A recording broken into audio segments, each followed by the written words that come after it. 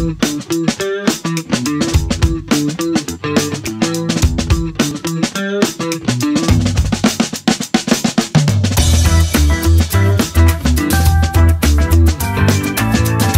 guest today is Gaines Kergosien. Gaines, how you doing? Hey, David. I'm doing great. How are you? I'm doing really well. I was down in Tennessee last week uh, at your house talking to you, and you mentioned that you've been uh, speaking a lot about ADHD. You've been speaking at tech conference about this a lot. Mhm. And um, I got home. I thought that's that's a really interesting topic because I know a few people that have ADHD, and uh, I um I started looking at uh, the slide deck from your presentation, and I thought some of that describes me. And I, I think I almost anybody could find something in there that they identify with, even if they aren't ADHD exactly. Can, can let's start with the definition. What is ADHD? Well, what the term we're used to, ADHD, is really all about a medical diagnosis. So it- it's really all about difficulties people are having in their lives. Uh, in order to be diagnosed, the DSM-5 says you have to have several, I think, five specific areas where you're uh, where it's negatively affecting your life for at least six months. So it's all focused on the negative. uh, one, one of the things I try to get into with my presentation is talking about it less in the black or white, are you diagnosed or not, uh, and less of the what problems is it creating in your life and more what traits and tendencies tend to align with this type of brain or the, or these the things that we lump together and call ADHD. Hmm. Uh, and then of course what impact does that have on your life and how can you leverage it? Yeah. Uh, so I think I, what uh, this is a, an attitude that I we always struggle with. Whenever we realize we have some um, hindrance or some handicap, whatever, whether it's ADHD or we have a you know uh, missing a limb, for example, or or vision impairment, whatever, um, we can either use that as an excuse uh, to not do as well, or we can recognize it and say, what are the ways to do better to get to that we can uh, focus to compensate for. Just be aware of that and overcome that. Yeah. Or even see how the same thing can be a negative or a positive depending on the situation and maybe making choices to put yourselves in those situations where it's a benefit and a positive. Oh, let's talk about that. Well, uh, we- we're not doing the definition right, actually. What- Yeah, what- we haven't really gotten into the five things. details. We'll start with that. So- So, For anybody who doesn't know the basics, ADHD stands for attention deficit hyperactivity disorder. okay. Uh, we used to call it ADD if you didn't have hyperactivity, but that's kind of gone by the wayside. Now everybody just refers to it as ADHD, but generally it can either present as hyperactivity, attention deficit, or a mixture of both. So that's the general idea. okay. Um, and uh, I, I, you uh, apparently have been diagnosed with this. Is that right? Uh, well, yeah, I, I, I guess I did. Uh, when I was li- little, I was diagnosed as borderline. Like the, they Okay. basically said he doesn't really need to be medicated, so my my parents didn't, and it was never really something that we ever taught or talked or thought about moving forward. But as an adult, I reflected and went, you know, these really are. This is impacting my life. There, I see the trends, uh, and then I saw a doctor and and I got. Uh, diagnosed and I got med- medication prescribed that I Mhm. sometimes take to help with it. Uh, so, but I don't think of myself as having been diagnosed because I didn't live my life that way. It's really Mm. more of a recent development for me. Okay. All right. Uh, and how do um, we'll we'll talk about what's the um, how do people know if they have ADHD if they need to address this? Well, there's a quiz on ADH, ADD.org, uh, Mhm. But there right definitely you would want to talk to a physician. That quiz is really just to let you know, yes, maybe you should talk to somebody. Uh, it really does take a ph- physician because a lot of the things, the traits and, and attributes we talk about could be symptoms of other things as well. And especially if it's changed later in life, like just in the last six months, you've noticed these things have started, it could be a sign of other conditions that could be serious. And that's where a physician comes in. Oh, okay. I, I think you really got to start with what kind of traits or behaviors tend to go along with AD. I mean, obviously we think of attention deficit, so easily distractible, but we, nobody really talks about the fact that it can also come with uh, extreme hyperfocus, right? Being able to to invest yourself so fully in something that you do block out everything else, and sometimes that's not a good thing. Mm. Um, there are ways that we manifest tendencies that we might not connect the dots to the original cause. Like maybe we procrastinate a lot, and there could be lots of reasons for procrastinating, an abnormal trait for somebody to have. Right. But if the reason you're procrastinating is because you're constantly distracted, or you know, there there there's ties into the the way your brain works as opposed to uh, other like environmental aspects or or choices, then that that's where you, you can figure out what the triggers are or what the, the causes are, then to address those better rather than just trying to put a band-aid on the problem that it results in. Okay, so that's probably part of the quiz that uh, that's on ADD.org and part of what a doctor would talk about. You know, how are you are you procrastinating and what situations are you procrastinating? Things like that. Yeah. What else? Uh, there's some really interesting ones, uh, like object permanence. You know, where where a kid doesn't know that something exists when it's out of their sight. Um, They found that that people with ADHD sometimes have a, a form of that where when an object isn't out of your sight, it's really completely out of mind. And the same could be true for people too, which can be a benefit. Like let, us say you lose a loved one, it mm. could actually be less difficult for you because uh, of the way your, your brain just doesn't normally focus on people and things that are outside of your immediate sphere. Hmm. Um, so it, it really depends on the situation with that. Um, yeah, it's just an issue if uh, if you have something to do, then you need to have post-it notes around to remind yourself to keep. They also know, notice the trend of fearlessness, where a lot of entrepreneurs, for instance, who take on these massive challenges that most people would look at and feel daunted, like I couldn't possibly do that, or I, I wouldn't know where to get started. Mm-hmm. They do find that a lot of the people who are successful have these ADHD traits, and one of them is being able to jump into a new endeavor without having those reservations. Oh, interesting. Yeah, I described this earlier as a handicap. In that case, it's certainly not yeah, of course, fearlessness in the face of actual danger. oh, know, that, that good point. That's uh, that's an evolutionary trait to, to our species. Uh, all right. Any, any, other ones before we talk about coping mechanisms?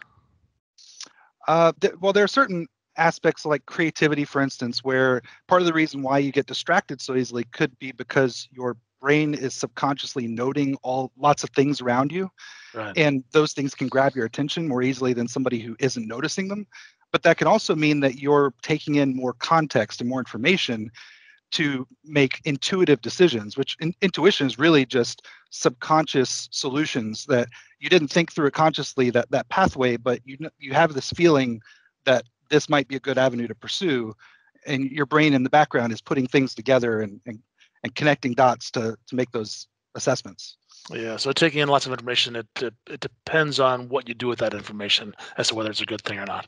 If you're yeah. assimilating it and making decisions based on it, even subconsciously, that's that's great. If it's being used to distract you from the task at hand, then that's a problem. Absolutely, and that can manifest itself as like people who like to work late at night, for instance, mm-hmm. and that d- reduces those distractions, that extra information that's coming in. Mm-hmm. Uh, a lot of people like to work at work at night because there's nobody calling, nobody taking their time, but uh, it could simply be because things are quieter. You know, the right. house is quiet. There's not as much going on. Right.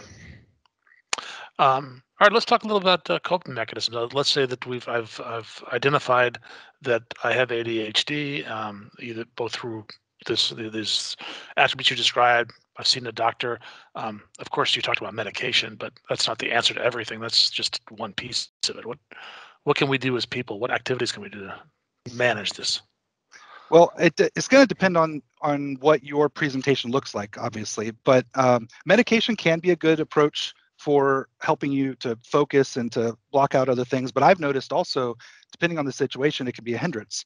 So I'm very careful about when I take medication because I'm not as good at at um, criti- at, at, observing things around me and mm. responding mm. to the environment and task switching that can be very difficult when mm. i'm on medication um, so things like uh, and most of these are not revolutionary like keeping lists and calendar using calendars and reminders uh, a lot of the things that people use on a very limited basis I find people who have strong ADHD become much more reliant on those and mm-hmm. go farther with them than the average person would, to where they may actually employ more along the lines of project management techniques without even realizing it to manage their own endeavors and their own personal life, which uh, I found for me lent itself really well to taking a leadership role and helping others through those same skills.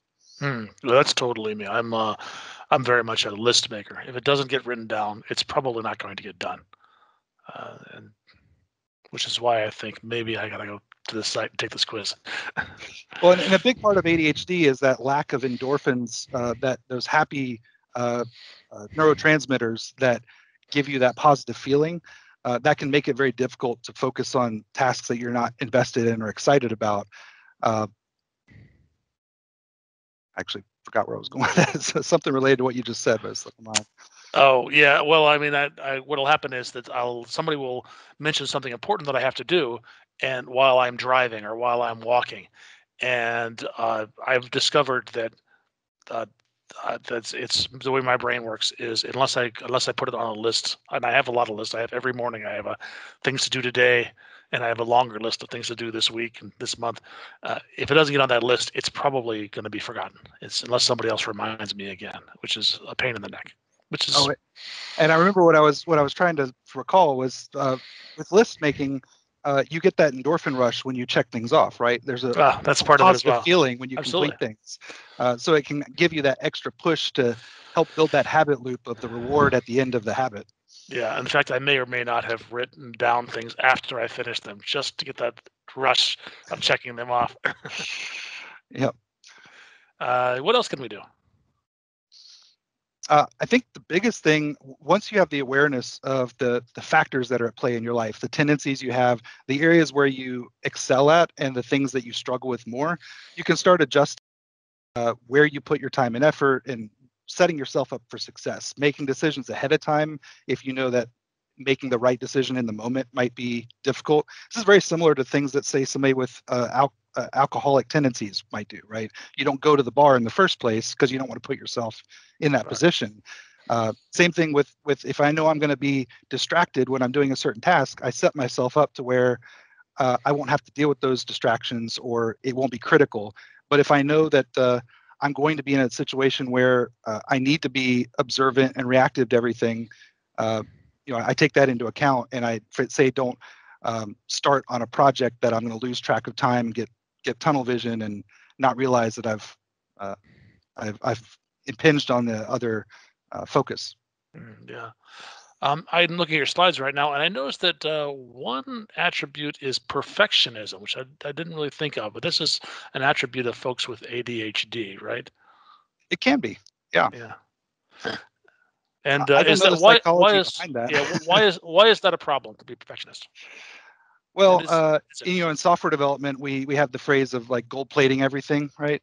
Um, and we know we understand that not everything has to be has to have that gold plating, has to be perfect.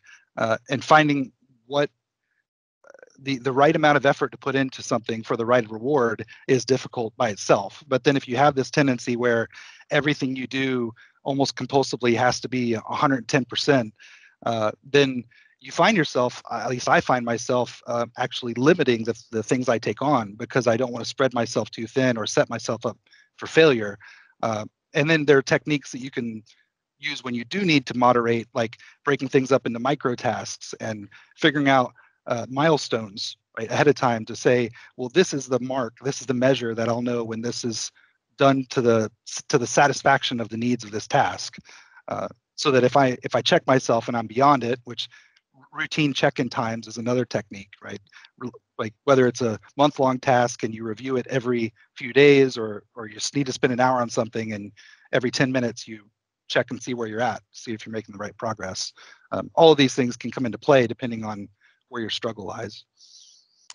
Uh, you and I are both part of the the uh, the tech community, the IT crowd, right? Um, do you think that uh, ADHD is um, more or less common among IT folks than it is among the population at large? I don't know of any reason why it would present more often for people in that field, but I do think the field may attract people with those challenges and tendencies.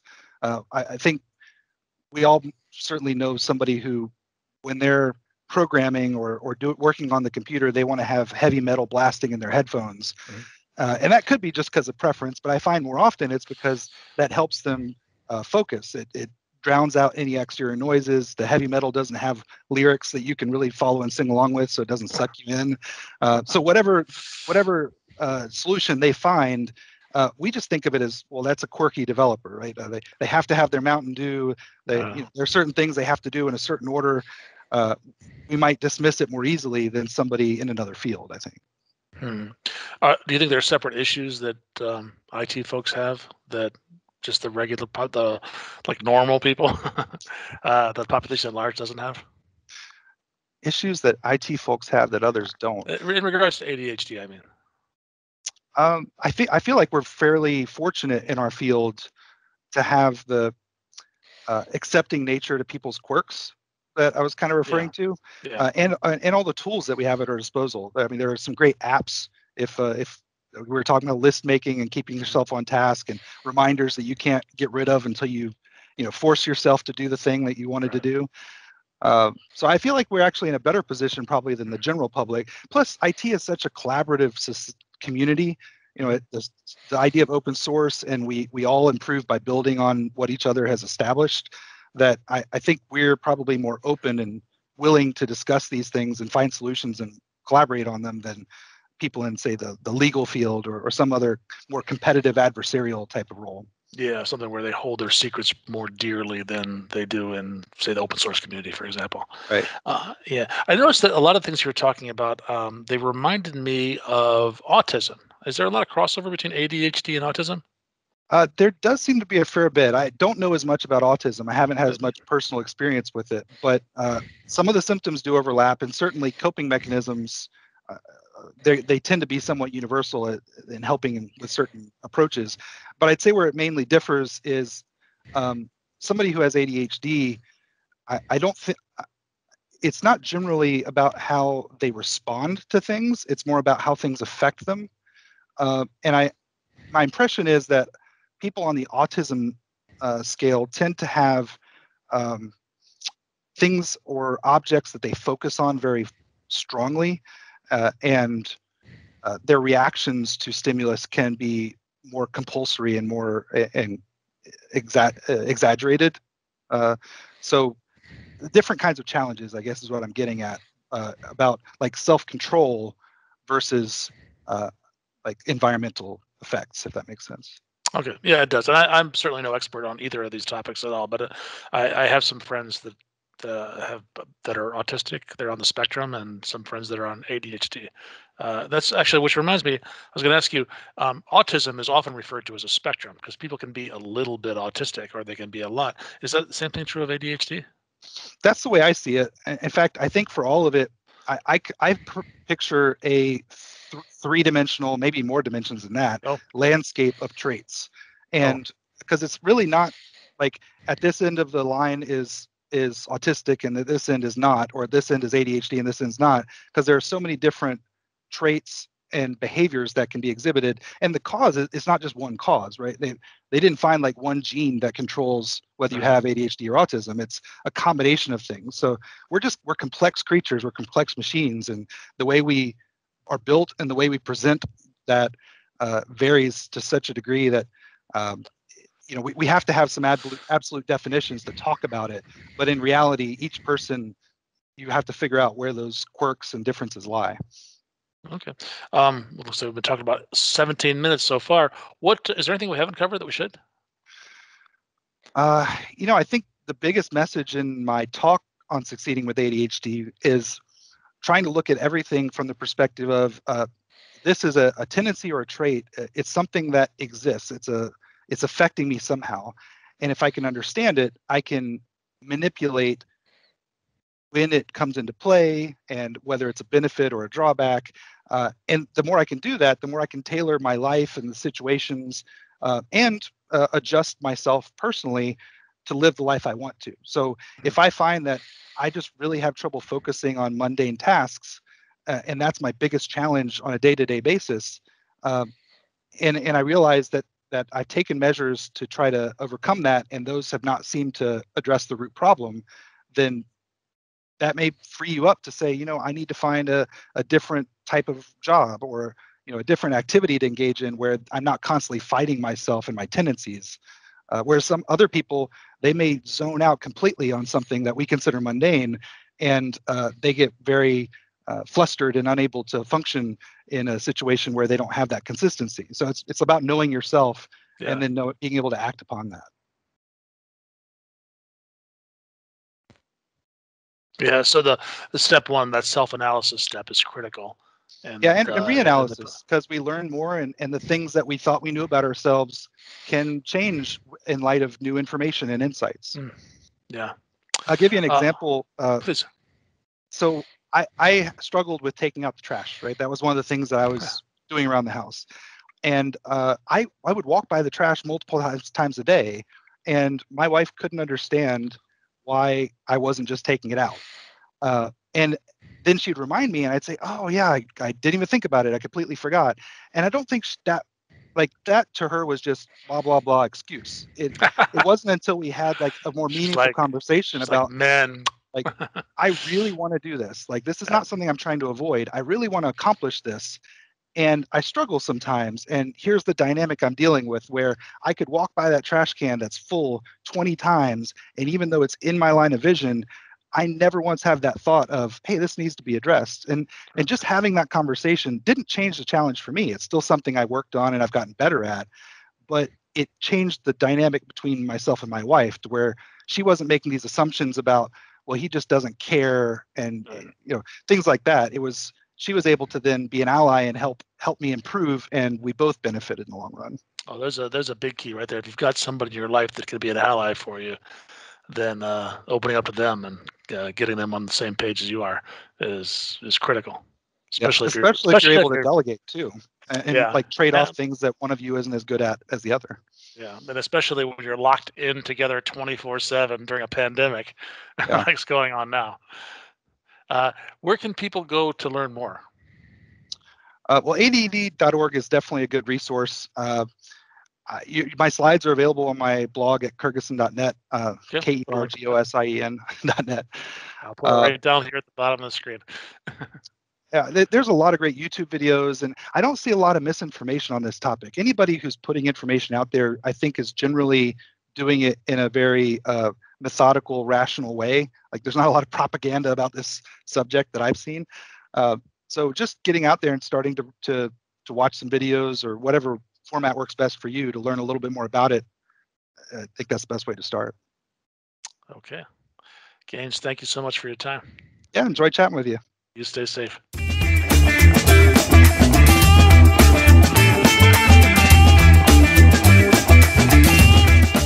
I have a lot of friends that I normally see at technology conferences, and I have dearly missed hanging out with them and getting to see them and talk with them. Uh, and you know, occasionally we connect over Zoom or some other uh, chat client, but uh, that's what I'm missing the most about this this pandemic and being shut in is is my technology friends uh, and the chats we have. So thanks for reaching out.